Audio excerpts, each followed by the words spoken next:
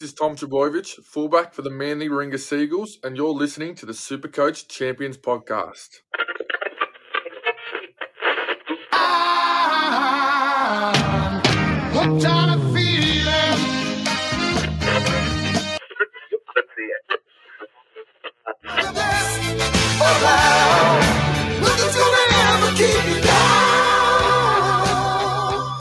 Hello and welcome to the NRL Supercoach Champions podcast. I'm Joe Fitz. With the Women's Origin game, the only footy I can recall happening in more than a week, it's a break we all needed to recharge our Supercoach batteries for the run home. Here to help me navigate this tricky period for Supercoach is a man so far behind on points you'd think he was coached by Paul Green. It's Wilf. How are you, mate? Not bad. Similar to you, I'm only recalling that there's uh, one all in series wins at the moment for the Origin. Mm-hmm. So the mighty Queenslanders took out the, the most important competition. That's the NRL Women's State of Origin. And uh, had a uh, I, I work for a, an organisation that's got offices across Australia, and let's just say Monday morning, I sat down to a meeting, and a bloke from South Australia, uh, about an hour into a meeting, went, "Wasn't Origin last night? How come you guys aren't talking about it?" And it was just dead silence for about thirty seconds before he realised that he really shouldn't have opened his mouth. So there you go. I guess the good thing is, is uh, Bear is a proud New South Welshman, so good thing he's not on to gloat about it.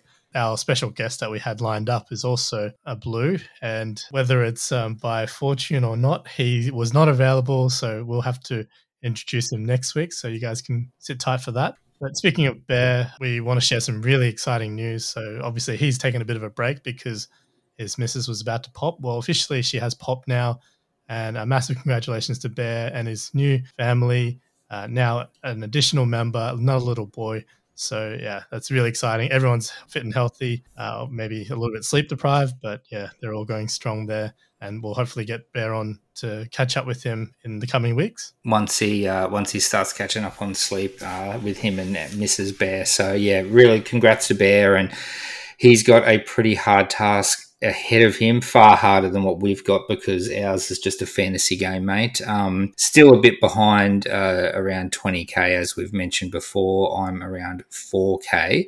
Absolutely. There's plenty of work for the both of us to do, me more so than yourself. But yeah, uh, it's an important week. So we'll dive straight into the team list for starters, and then we'll dissect the strategy a little bit more about how to navigate the five trades this week, as well as really how to deal with some pretty pressing issues, which uh, I'm sure everyone is more than painfully aware of. Stephen, I like your hustle. That's why it was so hard to cut you. Congratulations! The rest of you made the team. Except you, you, and you. Two absolute blockbusters this week, which is really exciting for the return to NRL. The first one being Roosters Storm Thursday night Wilf. Most of the big guns are back, not all of them, of course, with Papenhuyzen a notable omission, mate. Uh, what's jumping out at you uh, with this game? Yeah, firstly, I think this is another time where we really should be complaining about the scheduling for the NRL. Like, I think everyone could see this is going to be a good matchup. And why would you put it right in the middle of the origin period? It just seems crazy. And the reality is, is even though Teddy's named, there is some doubt over him. I think anyone who watched Origin could see that little bum bag he was carrying around.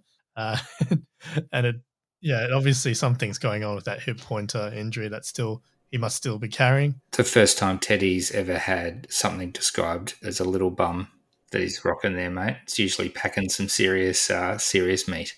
Or how else does that? You know, that the junk in his trunk is how he gets all that uh, acceleration off the mark. So fair call.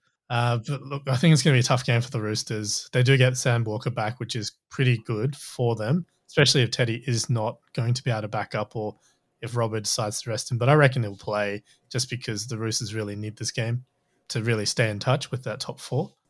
Manu back in the centres and Suaalii is on the extended bench. But if Teddy's not back, then I assume we'll see that same reshuffle where Manu goes back to fullback and Suaalii comes straight back in to right centre. The good news, they do get Tupouniua back as well as Sam Walker. So I think we'll have to see how that shakes out. Uh, I assume Angus, he didn't, I mean, he still played decent minutes in Origin, but there's long enough of a turnaround here. I reckon he'll be play, playing his normal minutes against the Storm because again they'll need him. Yeah, it's it's about as healthy as the Roosters are going to get this year. Obviously, Collins out for the year. Um, Friend retired, Cordner retired, uh, and obviously Brett Morris as well. So this is basically it, Roosters fans. You're, you're going to have to see what your final uh, Roosters team looks like moving forward against the Storm. Except Victor the Inflictor is back next week. Oh, of course. and you still own him, don't you? I do. Precious extra buy cover. But uh, speaking of the Storm, uh, I mean, still no Papenhuyzen, but I have to say the update the Frank Ponissi gave this week seemed the most positive. It sounded almost like the Storm were choosing to rest him this week, as opposed to they had no choice but to keep resting him because he was showing symptoms. And it looks really promising for round 18. I'm not. I'm trying not to be too influenced by the fact that I'm still holding Papenhuyzen, but I, I do, it definitely seemed like a, a real positive for Paps that he should be able to play around 18, and hopefully that's going to be in Melbourne for them. So Nicho Hynes, I mean, we kind of talked about it in the earlier episode, but I, I'm leaning towards holding him.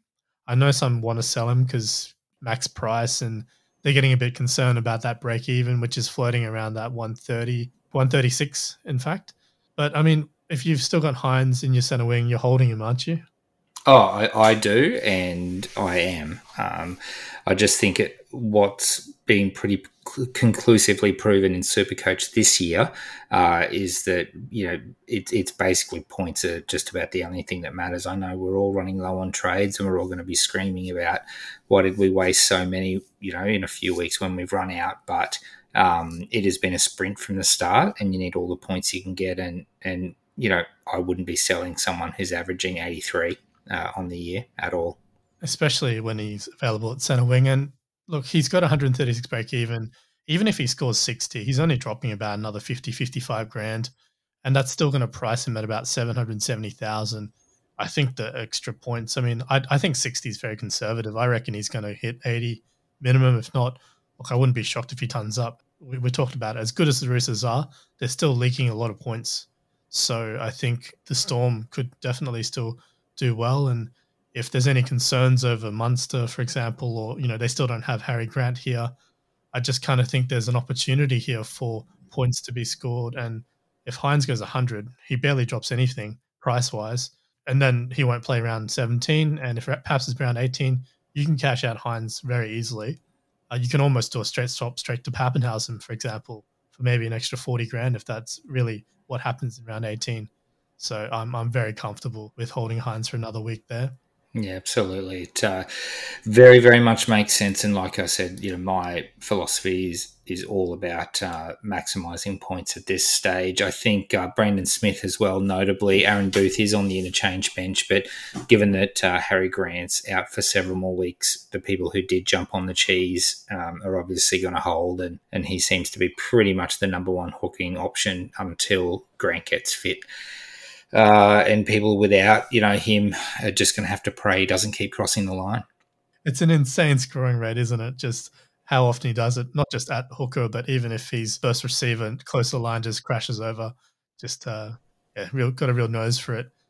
I mean, is it viable, honestly, once Harry Grant is back? But maybe your best hooking combination is actually Grant and Smith at hooker, and hoping that the cheese keeps getting the 20 odd minutes at, at, at the start and then playing for another 30 or 35 in the middle and still getting some good opportunities for attacking stats. Like, there's just no viable other options. I mean, Damien Cook has famously fallen in a super coach hole this year. Brailey um, has collapsed after a super strong start. He's um, even his tackle numbers are down, much less his attacking stats. Connor Watson uh, is getting stuffed around regularly, although hopefully he goes back to that 50 minute kind of bench utility role uh, that he played so well at times earlier in the year. But yeah, there just isn't much else in the way of options. Um, so yeah, a double double storm hooker, uh, you know, could absolutely be the way to go on the run home. I think for me, realistically, with my trade numbers and the fact that right now I've got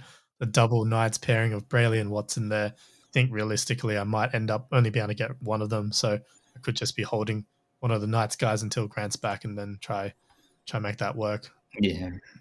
All right, let's move on to the next game, which we've got the Warriors and the Dragons. What's your read on this game so far? Uh, look, I think the Warriors obviously got a couple of guys out, uh, Curran notably, uh, with the COVID protocols.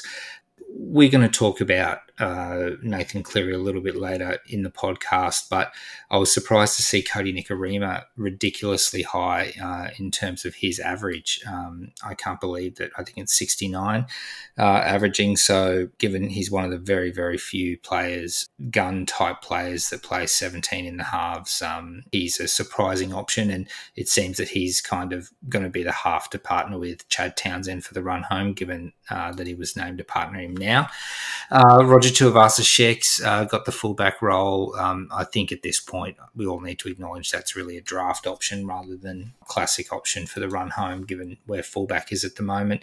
Uh, Addin Fonua-Blake is in that kind of option range uh, for forwards there. I think we've all anticipated that he would have, um, you know, done it a little bit better than he has, but that seems to be the way for the really big middle forwards this year that, you know, Supercoach isn't really being that friendly to them uh, at the moment. Tohu Harris is a must if you don't already have him. I'd find it hard to believe you're serious if you're not going to use your mega trade week to bring him in. Um, and otherwise, for the Dragons, Ben Hunt um, is, I guess, a, a, possibility for your Cleary uh, money if you want to move him on. Um, but obviously, doesn't play around 17, and not a lot else uh, particular interest there uh, for mine with the Dragons. Any Dragons jumped out at you, mate? Not really. I mean, there's obviously the chat about Jack de Belin, but couldn't really go there. Yeah, not pass. just for reasons. Just uh, I just don't think I could handle looking at him in my team. But mm-hmm. that's another story there. But look, Josh McGuire and also Fuimaono back, bloody Tyrell, um, back from suspension themselves, so that muddies muddies those middle forward minutes there for sure with the four forward bench.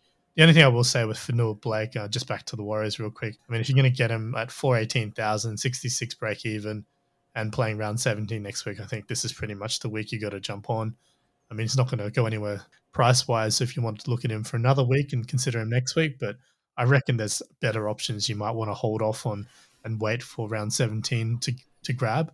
Uh, you know, for example, if there's Origin uh, as a consideration there that you might want to, you know, and I spoke, I guess we kind of spoke about it last uh, last episode where Daniel Tupou, I think, is almost like the perfect round 17 guy that you hold off and wait for. But uh, yeah, look, I, would be avoiding pretty much everyone uh, from the Dragons. I mean, Jack Bird again, still getting that. You know, it looked like he was getting that 80 minute role for a bit. Now he's back in the centers. So uh, if you jumped on, it's a bit rough, and maybe you're gonna have to move him on. If you stayed off him, then good thing that you waited for a little bit longer, because uh, surprise, surprise, back to the back line for him as well and DWZ playing his first game for the Warriors, he's you know as a Bulldogs fan the last few years, uh, he's flashed at times, but I assure you he's a trap, which is you know been the the lot of a lot of uh, Warriors wingers over the years. Um, you know that they'll flash and, and entice a few owners in and, and, ultimately disappoint them. So I would definitely avoid. Um, the other blockbuster, Wilf though, is the Friday night game Panthers Eels. No Cleary, of course, but plenty of guns on both sides.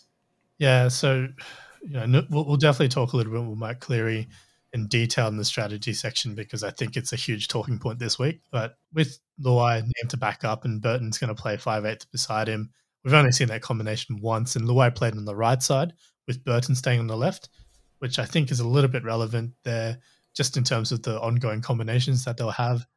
I just think um, you know we've seen how potent that left edge is with Kikau and then Crichton and obviously Bizza uh, on the left as well. And I kind of think it would have been better for Luai to stay on that side because it just doesn't seem as uh, appealing when he's working with Cape Capewell, Tyrone May, and uh, well, what what will be Brent Naden this week, and probably Charlie Staines uh, once Dylan Edward is back from his injury. So yeah, that's something to keep in mind for Luai owners. I think got to give him a, a week to have a look, but it's not a great matchup either way. So it's not ideal for Burton owners, I think you've got to sit and wait for a little bit longer. Yeah, again, not ideal this week with the relatively tough matchup against the pretty much the full strength Eels, uh, minus Reed Mahoney. And then he obviously doesn't play round 17 and round 18 again. Who knows when Cleary's actually back? So it's a tough one. I think you'd give him the week and then wait and see in case the, the news isn't great for Cleary.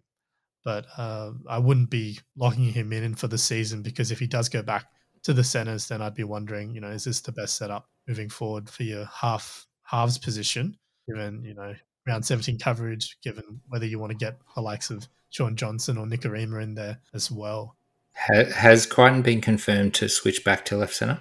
Yeah, look, that's a good point. I'm assuming he is, but given, I mean, Tyrone May has often played right centre. Last year he did from memory, so that's kind of why I expected Stephen to move back to the left. Mm-hmm. But you're right, it could end up being Crichton moving back to the right side, which, you know, it kind of was better for Staines when that happened. But surely, you if you still got him, then you know you'll see how he goes as a fullback, which is actually meant to be his main position. And he, he's surely a, a prime target to be traded out this week or next, anyway. Very much, and I also think that Mitchell Moses will be 100% licking his lips. This is an origin audition for him uh, with Cleary out, and I think he might have some specials for Charlie Staines, who is on the shorter side. Um, I do foresee one of the, you know, the Zach, is it Chinny, Cini? Uh, you know that that rookie from earlier um, on whose second game for the Tigers was an absolute nightmare under the high ball. So, look, hopefully for Charlie Staines' as it works out, but I do foresee uh, his height being used against him there as well.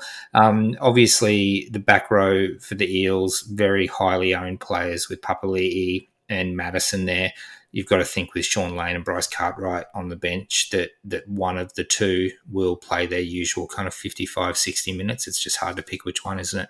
Yeah, and I just think with the way Matterson is, it seems like the last couple of weeks he's been the one who's been favoured to have the early shower uh, and be protected a little. Uh, so, given the work rate for Papali'i, I think he's the one you'd want to keep for sure, especially since he's got the dual position available at front row forward. I think Matto is genuinely a sell if you need to. Uh, I think a lot of people are considering it. Yeah, five five hundred and ten k break even of ninety five. Um, you know, a lot of people have both Matterson and Barnett, and I've had a few questions uh, in social media and in various chats about who would be the priority sell. I've got both, and and I just think with Barnett named on that edge, uh, and I think his scoring potential is better given he's pretty much guaranteed 80. So Matto would be the trade out personally for me uh, beforehand. Any other Eels? Uh, obviously, Gutho there. We've talked off air uh, before we started recording about whether Gutherson's a hold. Um, but I would imagine if you know, all the non turbo owners would want to prioritise moving Gutho on for him. Yeah, look, I think it's not a question there. I think if you've got Gutho and not turbo, he's a really easy option to sell on given, I mean, I don't think the Panthers will fall in a heap just because they're missing Cleary, and they still got most of their Origin stars backing up here. So I do think the Panthers will will give a much better account of themselves even without Cleary. So yeah, I think Gutho is a prime sell target. I expected a lower score from him this week, and you know, for the run home, uh, as you said, we talked about it. I think the Eels have a tougher run home than it looks. And I think, especially for Gutho, you're you're going to want rather a Turbo or a Papenhuyzen in the back end of the season, or even a Ponga, given the easy Knights run home that we've talked about multiple times, usually in reference to Bradman Best. But I'd remind you of that one there, Joe. Who I still have in my team. I have not yet traded him out, but we'll see. Um, speaking of lowered expectations and lowered scores, the Bulldogs game is next up. Uh, they're playing the Seagulls. Tommy Turbo, if he does play, could do absolutely anything this game. And I suppose you'd pretty much say the same for Reuben Garrick as well.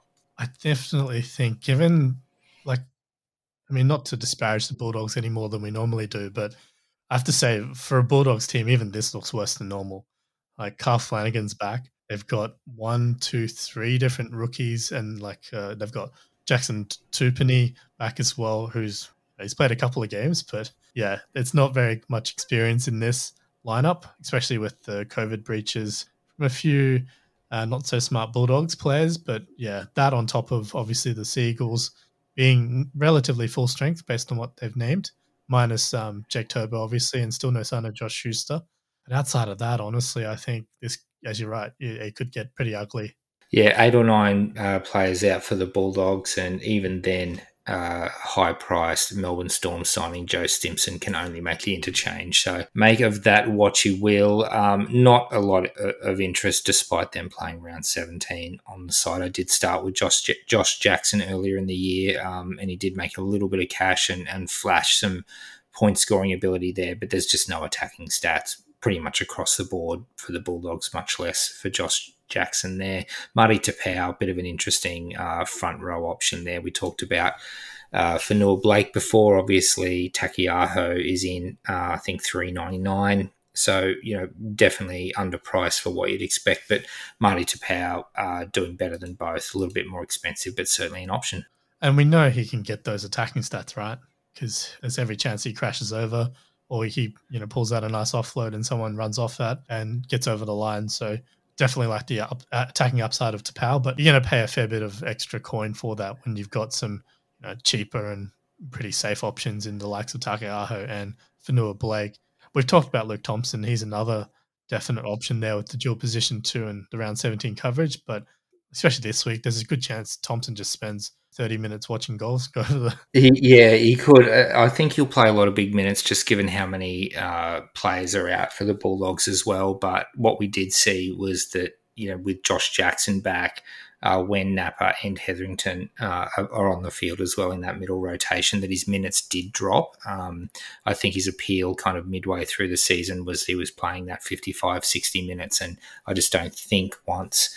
And it's really only uh, Napa to come back uh, into the side um, that he'll be able to sustain that, and, and that does kind of present a bit of a problem. Hopefully, uh, for owners, he can keep his minutes up for this week in round 17. But I think um, it's a little bit far fetched to suggest that he's someone that you can run in your top kind of 18 or 19 for the run home. Yeah, purely depth option. Now, two other names I want to really quickly touch on. Um, so, like I mentioned, Jackson Topine starting this week.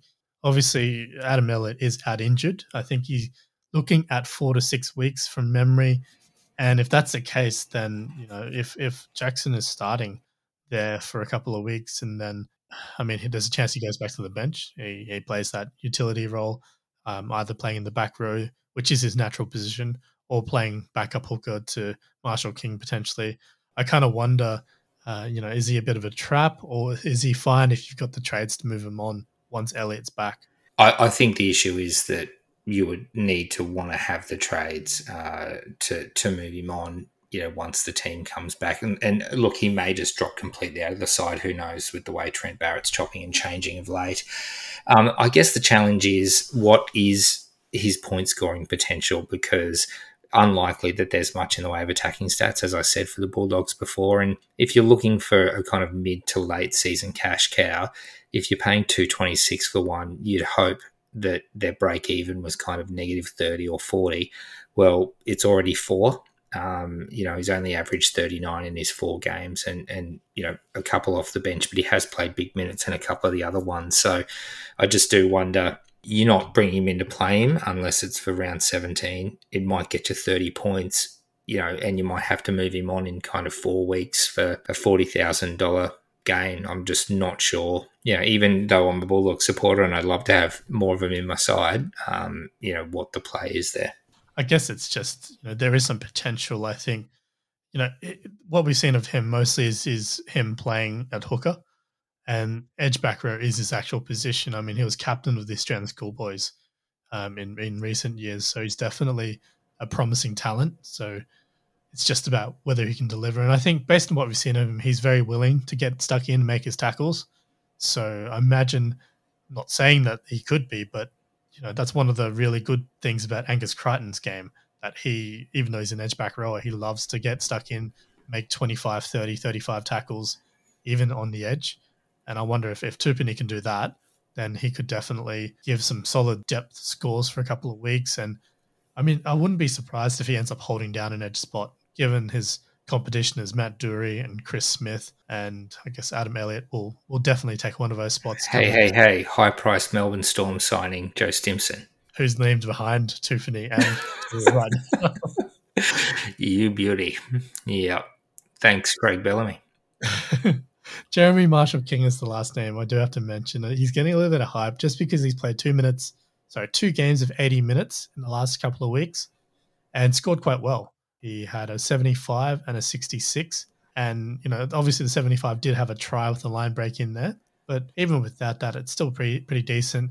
You know, let's say 50 to 55 ish in base and base attack. I mean, if you're really scratching at hooker and you really want to ditch one of these guys, you could do worse, couldn't you? I mean, the, the problem is he's priced at 447 already, which is exactly what Jayden Brailey's priced at. And I mean, both 80 minute players potentially. Um, Brailey's proven he can you know, sniff out a try and a line break, I think, far more effectively than Marshall King. And, and the Knights have a lot more points in them. So I certainly wouldn't be moving Brailey uh, on for Marshall King, given you know what my trade situation is and what pretty much everyone's trade situation is. What I guess who would be the the person you'd move out for Marshall? I mean, I, I probably wouldn't personally. I, am not that keen myself, but let's say if you had like a Jake Simpkin stuck there and you wanted to move him on because this is the round to do it to clear out your dead wood and you don't really know what you know you don't have the dual positions to do much with him he probably isn't the worst option. And especially if you've got some trades left to maybe turn him into harry grant later if you needed to. I kind of think that could be a viable play. But yeah like for me it's not an option but i can certainly see why some people would be interested uh, definitely if you've max traded. I mean if you got stuck with him for the rest of the season it's probably not the end of the world honestly if he's holding down that main hooking role uh, whether it's playing 80 or even if he drops back to you know 60 65 minutes whatever he's still probably going to give you 40 points minimum and that's not an 80 nightmare. Yeah, true, but I mean, he is the same price as Karl Lawton. Uh, it's only 20k to Josh Hodgson um, both of whom will play 17 as well. So I'd probably put him a little bit back in the pack. But yeah, if, if you're really chasing pods and, and do believe in the Bulldogs, then yes, he could be, uh, uh, I guess, a decent enough option as well. But we've spoken way too much about the Bulldogs, mate. Raiders Titans for the uh, third game on Saturday. Uh, Brimson's back for the Titans, which is always handy. Corey Thompson's a huge in, and he could be an intriguing pod for the run home given how well he scored earlier in the year. Yeah, but do you find the Titans are just going backwards slowly? Like they just seem to get worse each week. Yeah, yeah, absolutely. I mean, Fifita almost seems a shell of the player he was in the opening month of the season.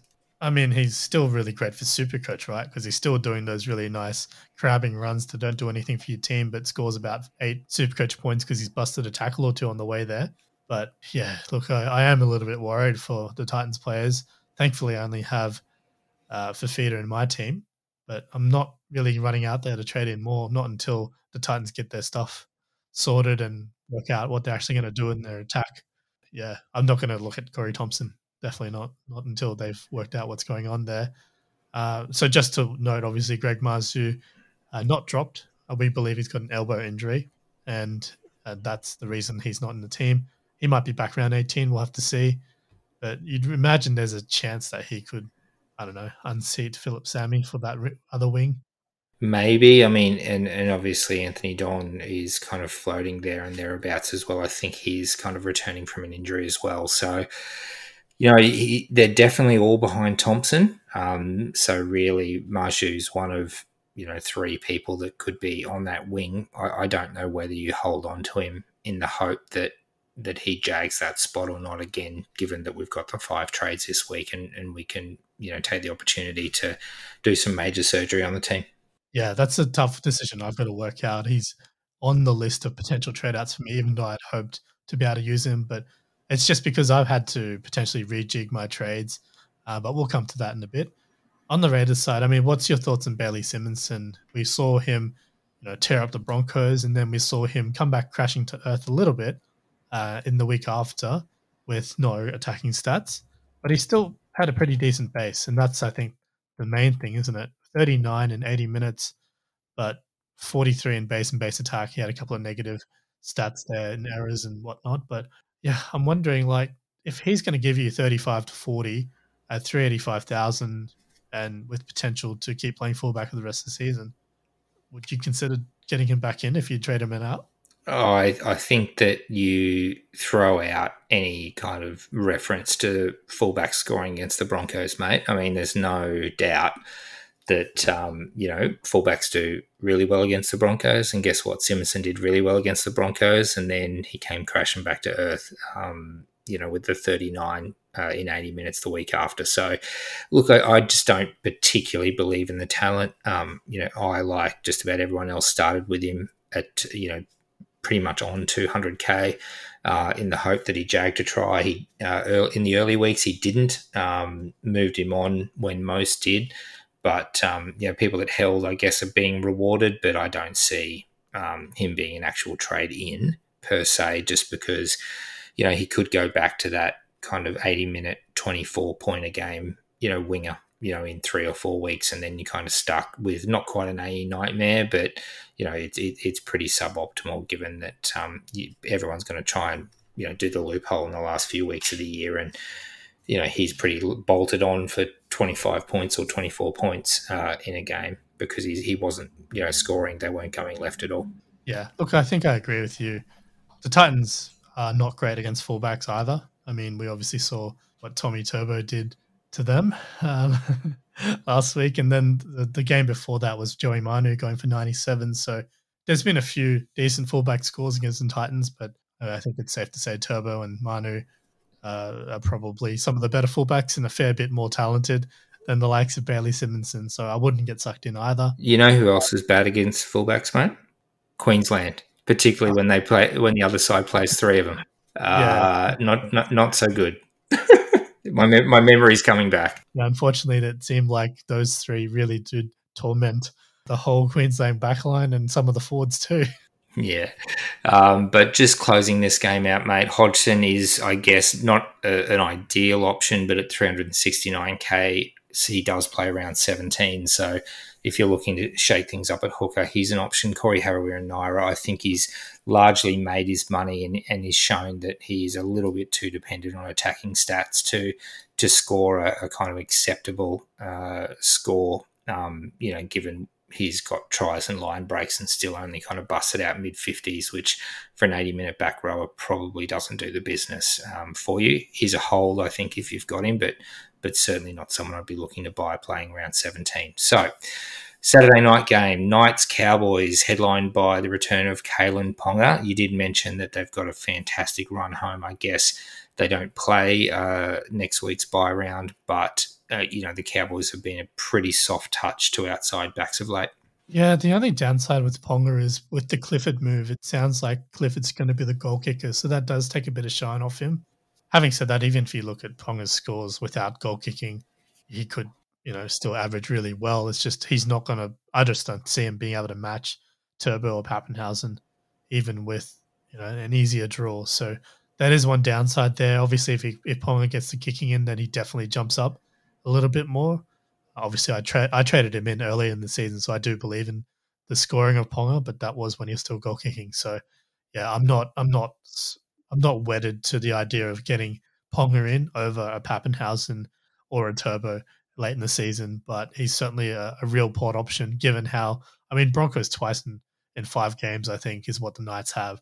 So I can't argue with wanting to take a take a punt on Ponga, especially if you need to differentiate yourself from someone up the top end as a bit of a pod. But that's more of a late round, you know, throw out the stumps situation there.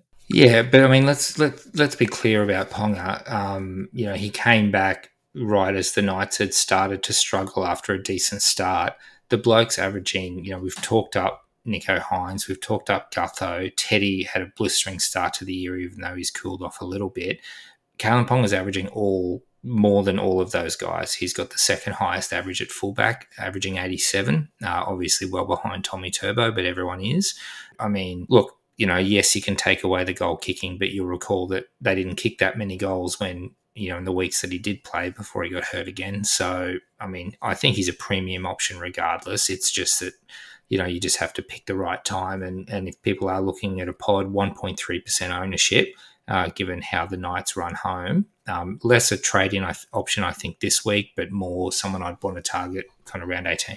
And look, that's perfectly viable. Like I said, I don't hate the option at all. I just think without the goal kicking, his upside's definitely capped and he may struggle. Like Turbo's just a freak, but the reason Papenhuyzen is right up there is because he does have that extra floor from being able to kick goals for one of the best offenses in the NRL. So, you know, obviously Mitch Barnett now playing back to the edge and that might only just be till Tyson Frizell's back, which may not be too many more rounds. But while he's there, I think he he's shown he's able to score at a gun keeper level. Maybe a sixty to seventy average is not unheard of for the next couple of weeks.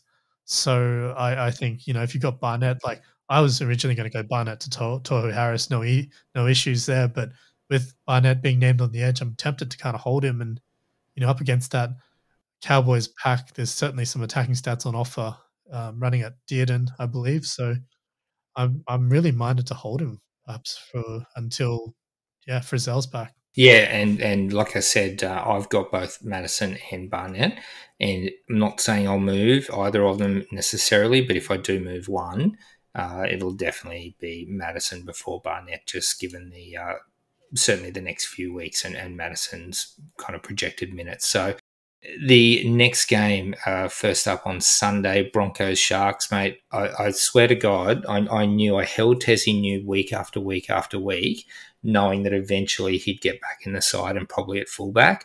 Uh, and you know, knowing my luck, he'll probably start scoring well. Of course, I sold him the uh, about a day before he got named uh, as an emergency play in fullback, and he's held the spot.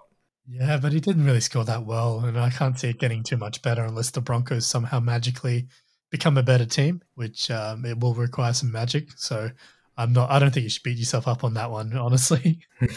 I thought he was the next Darren Lockyer, though, mate. Well, we know Darren Lockyer wasn't that good for Supercoach either. So on that note, uh, Kotoni Staggs, who is pretty good for Supercoach, he's back. Um, obviously can't jump on sight and scene. And you know, there's still whispers that he might get a shot in the halves before the end of the season, given he wants to play five eight. And that'll be a, a, real watch. I think it'll be interesting to see how he goes there. But um, I guess for the Broncos, it's good that they get him back because he's obviously one of their better players. But Brodie Croft is back in the team too, so I don't know if that nullifies any additional bonus we get for having Staggs back in the team. And you know, Pangai's obviously suspended, word is he'll be out to around 20 at this stage. The Broncos say he'll stay until the end of the season, as will Matt Lodge, which I'm wondering if that takes a bit of shine off, you know, whether you hold him or not. Because, I mean, he's still going to play six potentially of the last 10 games, I think, that we have this season. So, given how much we will need the depth, I'm wondering if he's worth holding. What are you doing with Pango? I'm holding him because he's one of the few uh, front rowers that are scoring at a kind of a gun level. I, I, can't see, you know, assuming he slots straight back into that, um, you know, 80 minute edge role, and and he was certainly one of Brisbane's better players when he was doing that. Eligible in the front row, you know, the big men just aren't getting it done to the same level as they have in previous years. So I think for sure he's a hold. Um, you know, if you can possibly do it, just having him there kind of in your reserve front row slot and yeah, just just bring him back on. And I think he's a top three uh, front rower. So yeah, I'd 100% uh, hold him, mate. Yeah, I mean, if he's staying at the Broncos, I think he's going to keep the role he's got, which is one of the forward pack leaders. So I don't really see his scoring dropping. So yeah, I'm comfortable holding him as well now that we know he's not going anywhere. And you know, whilst he's unsigned, I think he's going to want to put his best foot forward, be on his best behavior, so that he gets suspended anymore and obviously, you know, show off his best offloading skills, uh, given that's probably one of the reasons teams like to sign him. Yeah. able to get that many offloads in a game. Having said that, do you load up on the Sharks? Well, I mean, they are starting to play a bit more respectably. You know, Jesse Ramien was, you know, an interesting pick in recent weeks. He's he's a fairly high priced uh, center wing, and, and if you're going him, you're basically you know backing the Sharks to uh, to continue to improve SJ is an obvious uh, backup five eighth or, or backup halfback uh, for the run home and, and could feasibly be someone that you'd want to spend your, your Cleary money if you move him on um, given that he's, I think, less than half the price and, and plays that round 17. But honestly, CSC for Talakai was a little bit of a worry. I did bring him in for the last game and he didn't play that many minutes and only scored the 35. I guess his re- one redeeming feature is that he is available in centre wing 337, but not a lot else of, of particular interest for the Sharks, mate. They just seem to be priced, you know, at, at what their ability is and, and there isn't too much value there. I'm just wondering when Sione Katoa gets back from his injury. He was meant to be back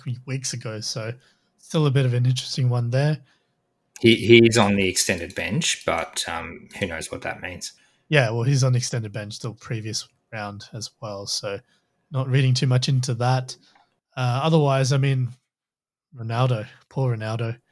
Uh, Mulitalo is, I think he is he an option if he plays Oh yeah, I, I, guess he could be. It's it's again, um, you know, wanting to look at his ownership. I doubt that it's uh, it's particularly high, um, but he's four seventy break even of twenty one, um, only in two percent of teams, and he certainly does have the ability to sniff out a try as well. But average of fifty two, um, and he has kicked up you know, in recent times. So I don't know. He just he just seems to be priced at what his value is, I, I'd probably rather go, you know, 135k cheaper and go for Talakai. You get the dual flexibility option, and, and Talakai obviously is a magnet for Supercoach stats. So that would seem to be the, the highest ceiling play for me. Yeah, I can understand that. But I mean, Mulitalo, since coming back from injury himself, three, three sorry, three round average of 84. And, you know, as you said, couple of tries in there. I think four tries to be more precise, but it's base and base attack 43, 35, 48. So definitely getting involved and getting a good, healthy amount of tackle busts in there. So, I mean, there's worse start throws, I reckon.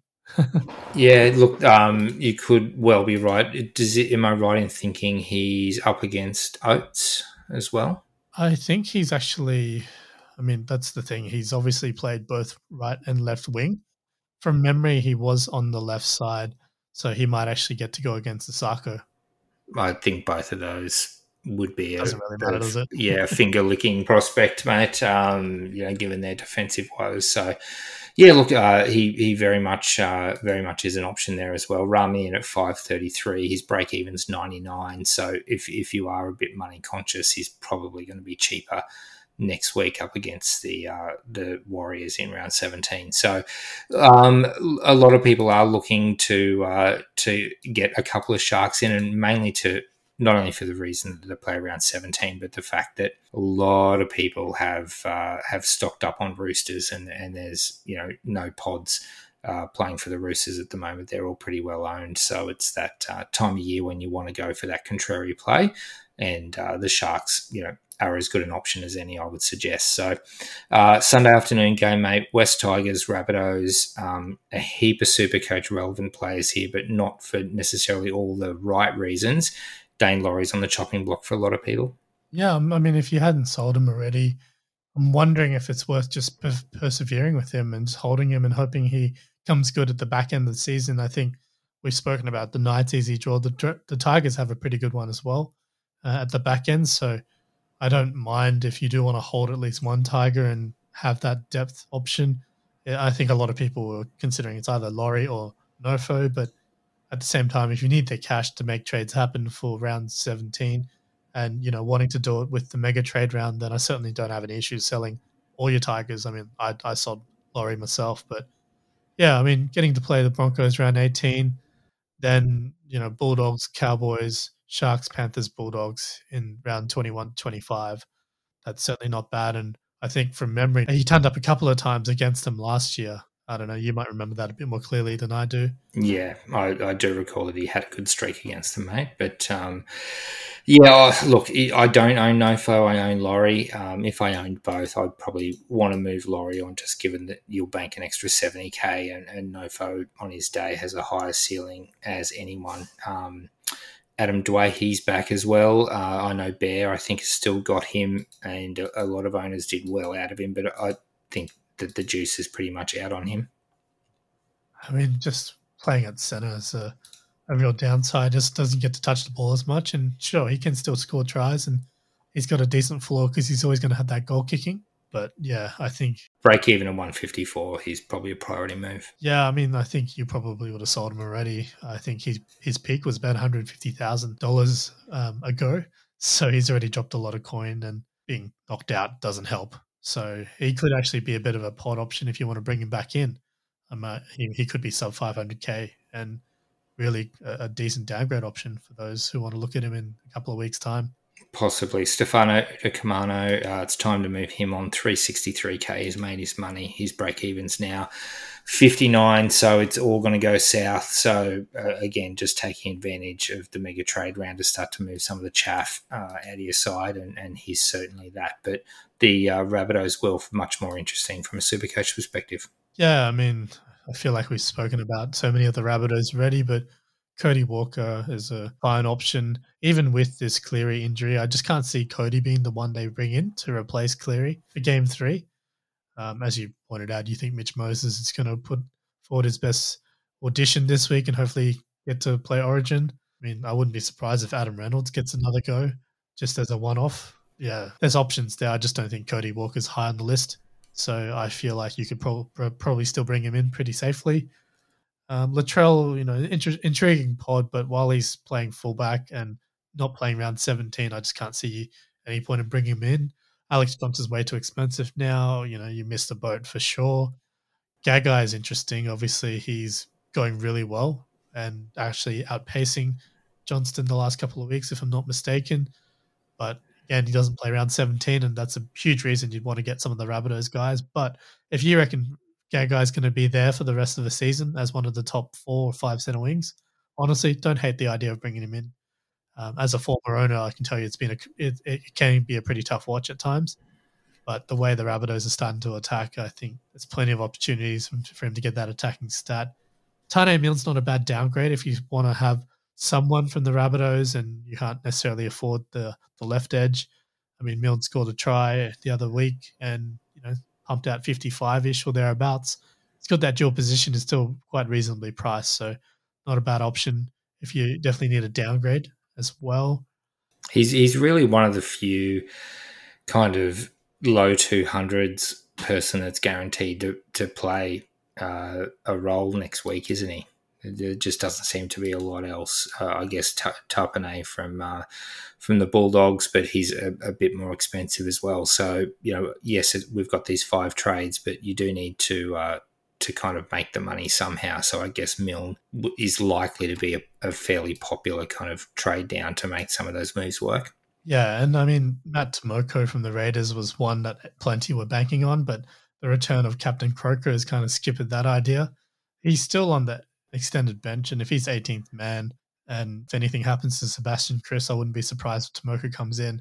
And if that does happen, he wouldn't be a bad downgrade option either. The only other name I can really think of is um, Edward Kosi from the Warriors, who, whilst Euan Aitken's out, uh, seems like he's got another opportunity. I mean, whilst Reece Walsh is injured, he's in there. So he's just a shade over uh, bottom dollar because he's played a couple of games, but his base isn't great. It's just you're hoping, you know, he might give you a few points, be a good cash out option this week, and then once at Walsh and Euan Aitken are back, of course, he will drop out of the side altogether. So he's probably the only other name I can think of that might play hopefully round 17 and then disappear.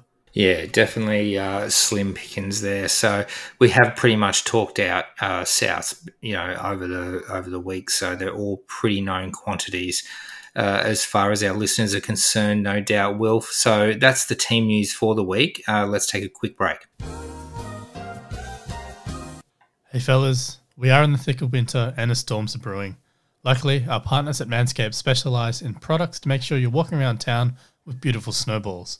Join over 2 million men worldwide who trust Manscaped with this exclusive offer for you 20% off and free worldwide shipping with the code CHAMPIONS at manscaped.com. Manscaped are here to provide you with the best tools for your grooming experience, offering precision engineered tools for your family jewels. The Manscaped Performance Package is the best buy of 2021. The Performance Package comes with a new improved Lawnmower 3.0, which is the best trimmer on the market, best hygiene tool for the modern man. You get the Weed Whacker ear and nose hair trimmer you get the performance boxer briefs and a travel bag. The bundle also comes with a crop preserver ball deodorant and a crop reviver ball toner. If you want to look good, that's upstairs and downstairs. You want to smell good, you want to feel good, you may as well use the best tools for the job. Don't get cold feet this winter. Get 20% off and free shipping with the code CHAMPIONS at manscaped.com. There's also a ton of other amazing men's hygiene products on the website, but look, don't take my word for it. Give it a go. Jump on the website, 20% off with free shipping at manscaped.com using the code champions. Again, that's 20% off, free shipping at manscaped.com using the code champions. Thank you again to Manscaped for making our winter wieners look so good.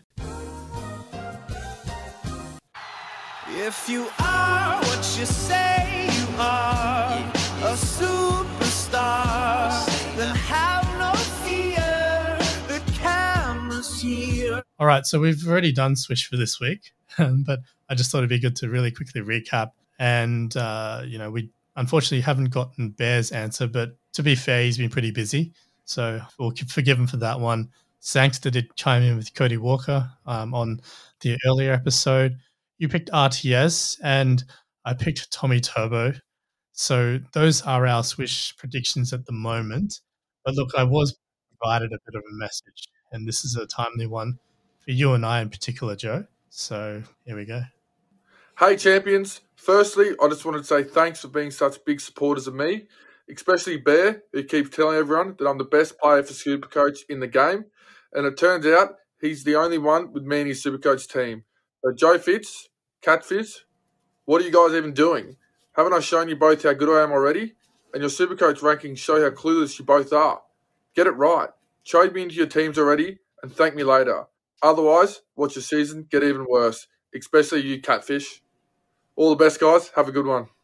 I mean, it's fantastic that we managed to uh, to have him give us a shout out, Wilf. But uh, Turbo can G and GF after Sunday night's performance, as far as I'm concerned. Look, he had a quiet game, all right. He already did less than normal, so yeah, he's he's done enough to my team for this season. Well, not to my team necessarily, just to everyone else's team, and mine not included. So, look, to be fair, I've picked him for 170 this week, so I will be getting him in this week finally. I'm listening, Tommy. Okay. I'll be getting you in just in time to play my Bulldogs, Tommy. So yeah, win-win or lose-lose. So yeah, that's obviously an example again of what kind of content you can grab from Swish.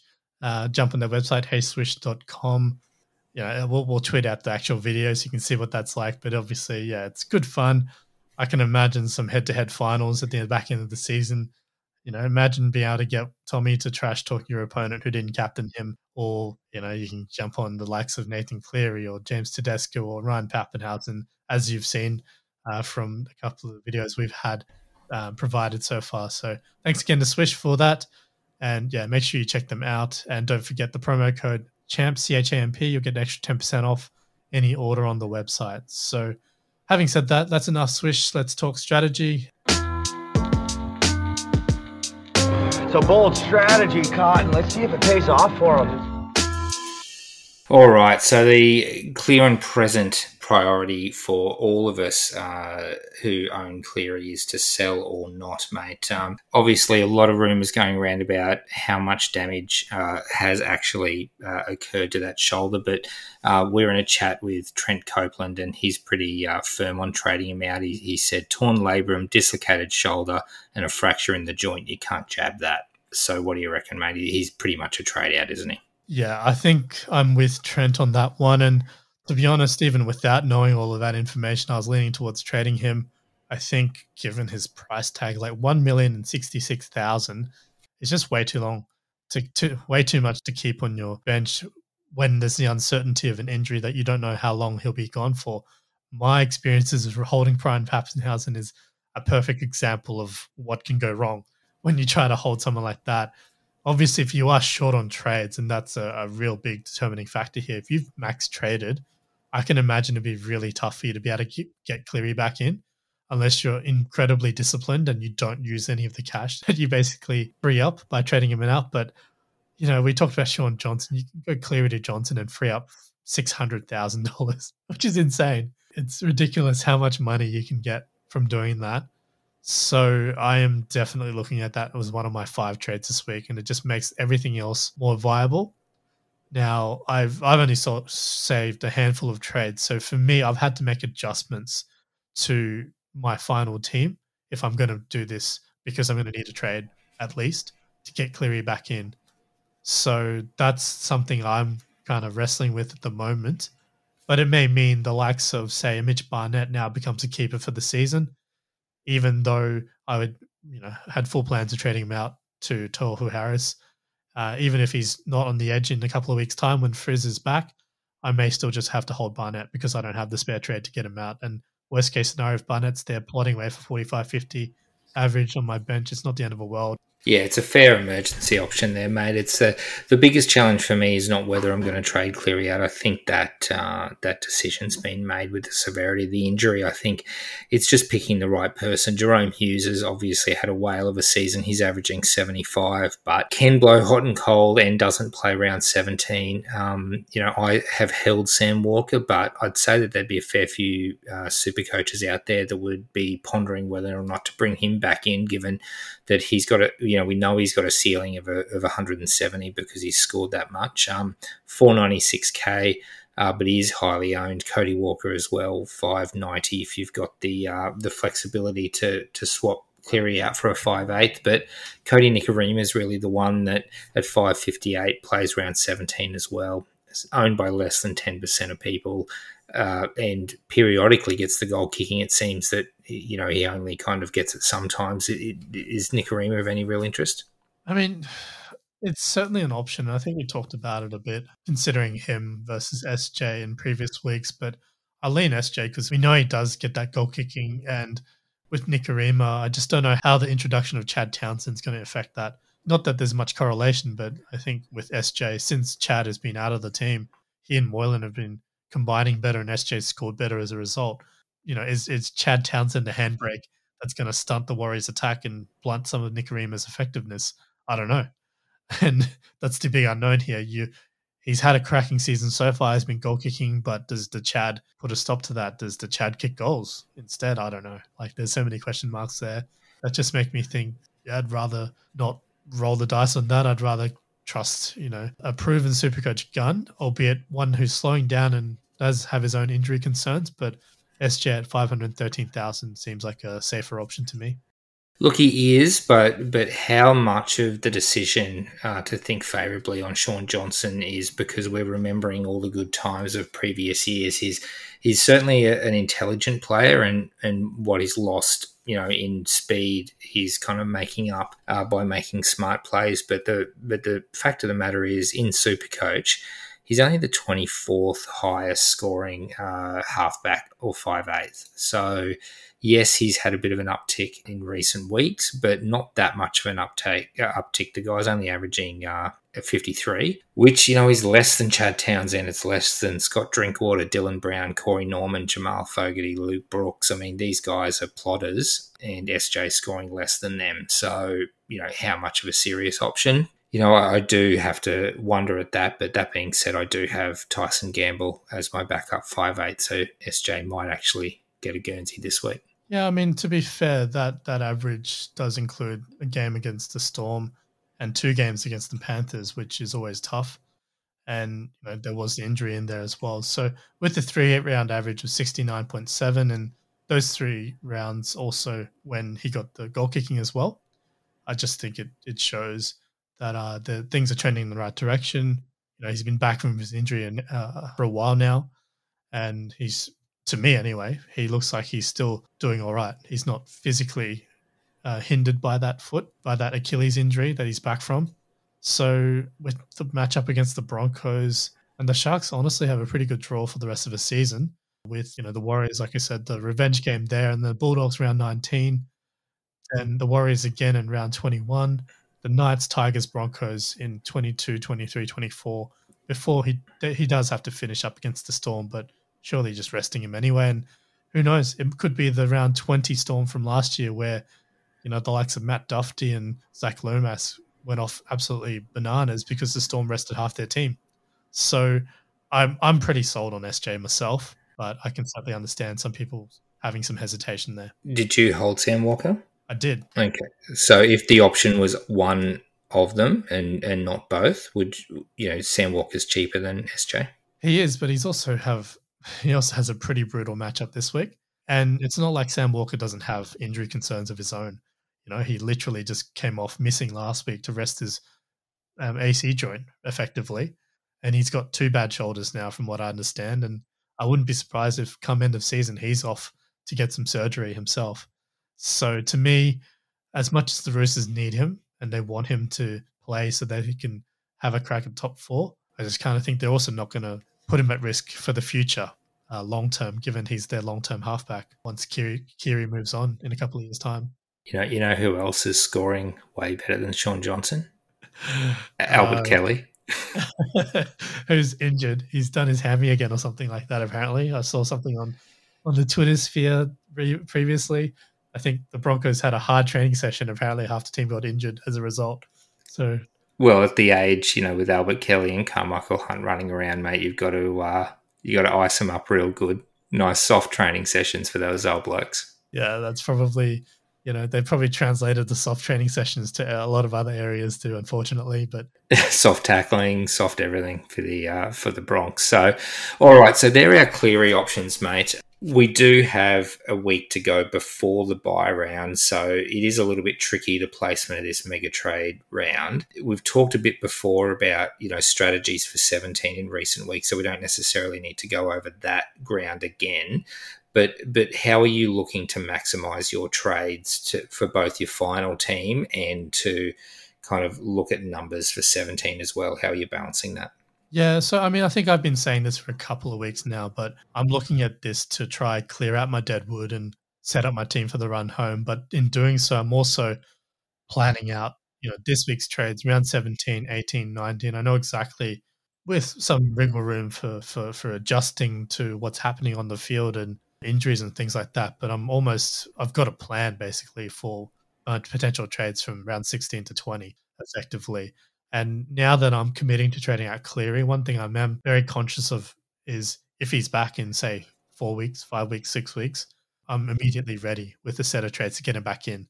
So whether that's making sure I've got the cash there sitting in the bank so that I can do enough out of someone and then, you know, say Schuster or Sam Walker or someone like that straight up to Cleary in one trade or a pair of trades and just making sure I've got that on hand to get him back in. Because if he's playing, like the Panthers aren't going to be silly with him. If he's playing, he's playing because he's fit and ready to go for the for the run home. Plus, obviously, the postseason, where you'd argue that right now the Panthers are a genuine shot to be there to to win the premiership. So I think uh, for that reason, you need to be prepared to get Cleary at any round that he's available, and that may mean adjusting your trades to reflect that if you are going to trade him out. Yeah. And I think, you know, we've been saying, and, and Bear probably more vocal than the two of us, saying that money just isn't an issue this year.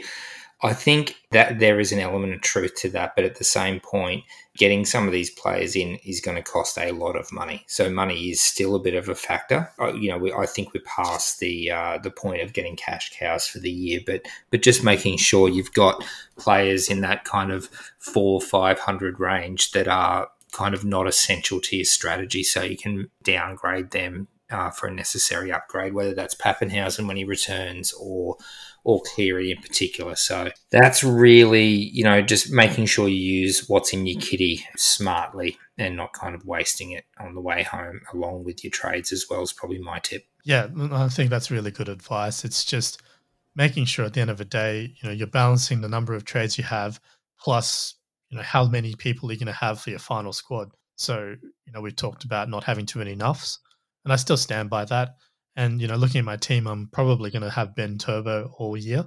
Uh, so you know, I've had a Turbo for a long time. Unfortunately, he's been the wrong one, but you know, he's got the dual position, so he's handy. I'm hopeful once the Seagulls are back to full strength that Turbo does, sorry, Ben Turbo drops out again and he becomes enough, and just one I can use to to potentially uh, make any last minute trades if I have to, just due to injuries. But outside of that, you know, I'm the only other player that's probably not going to be active for me is maybe like a uh, whoever I trade Spencer Leniu to, even if mm. that's you know I, I, might end up getting Jackson Tupou as a bye coverage option as a as well as a downgrade option to free up as much coin as possible.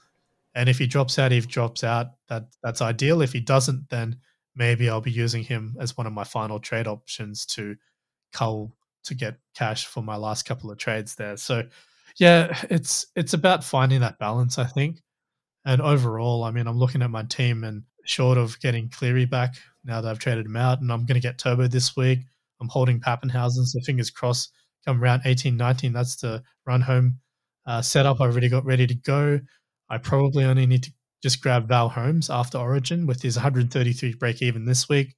I can't see him hitting that, and he'll probably uh, have a little bit of a quieter game this week, and then maybe around 18 or 19 depends when he plays next after Game Three. So post Origin, it's it's Holmes, it's Grant, and Cleary for me, and anyone else I've already got. So that's kind of how I'm looking at my team, and just mapping out my trades to make that happen. It's just that inevitable injuries, just having that handful, uh, and it can't be much more given our trade situation. Um, just that handful of trades in your back pocket for the last, you know, five, six weeks really just going to have to be injury replacements. There's no real um, real strategy involved in swapping players out, particularly for a run home or not. You, are just purely going to have to save them for injuries and suspensions, given that you know both of those things, injuries and suspensions, tend to be a little bit more prevalent later in the year. So, look, really great advice, Wilf. I think you know we've covered a lot of it in detail, except you went through your, some of your trade outs. Who were you looking at getting in this week? So most likely, I'm going to be getting in. Yeah, so Turbo, Garrick, SJ, Tohu, Harris, and Topine at this stage are probably my five trades. And I'm going all out because I'm, like I've spoken about, hitting round 17 as hard as I can just to try and make up as much ground as I possibly can in the next couple of weeks. And then I'll be, you know, holding on for dear life. I'll only have, like you said, a handful of trades literally. I'll be in, um, you know, on one hand, I can count the trades I'll have left come round 18 and I'll have to see how I go. But I'll have a squad of about 22, 23 players. And I think I'll have to just yeah, cross my fingers and pray. For me, it's uh, Gamble, Gutho, Uda Kamano, and probably Bradman Best out finally. Turbo's a definite in.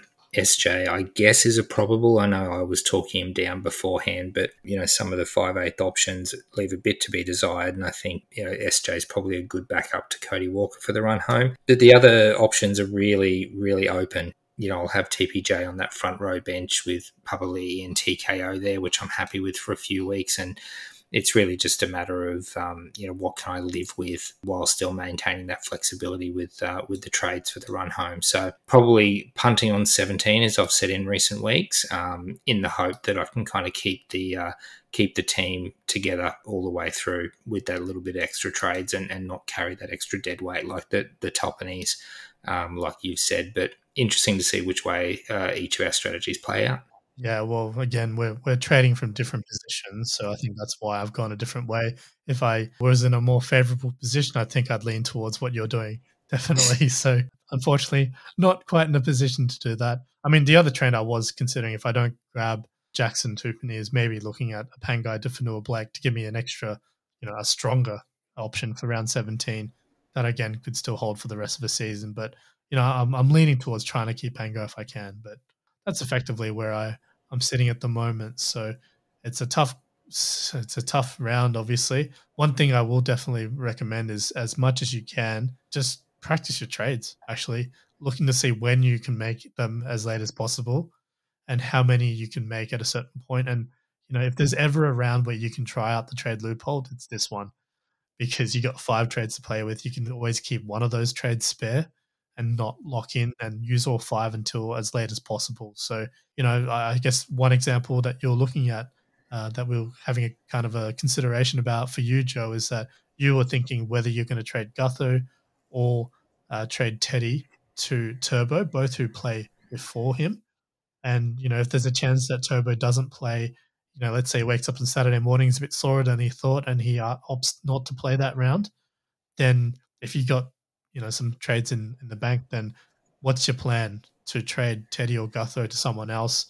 Does that mean you you know fire through dual position you pivot to Reuben Garrick or something like that, or do you just turn him straight into Val Holmes and cop the price loss? But you know you're not trading in turbo for no no points this week. That's right, and it's probably probably Daine Laurie using that flexibility to move Laurie down to fullback and, and bring in a, a centre wing and and stash a hell of a lot of money, you know, with the view to bringing Turbo in post Origin.